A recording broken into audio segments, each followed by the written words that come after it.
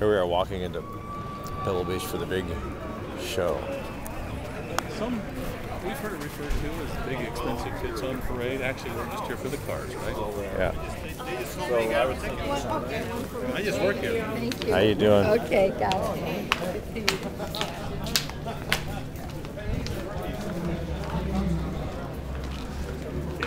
That was watch how funny that was. Watch. Not at all. Cigars, cigarettes, Cigarillos. Just cigars. Stop that.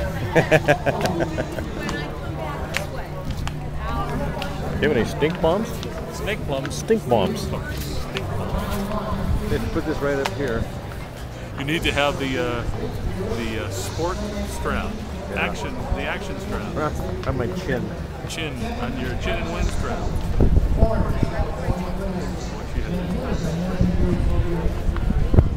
You had-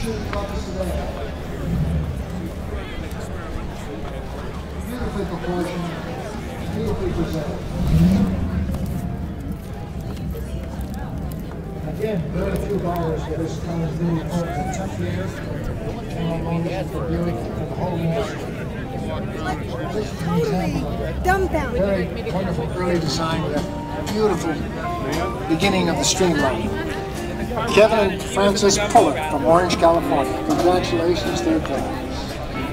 There's the 18th fairway, ladies and gentlemen. Here's the driveway. Second prize is the 1937 Packard 1507 Coupe 12 There's cylinder. It's owned by Zach Brinkerhoff from Denver, Colorado.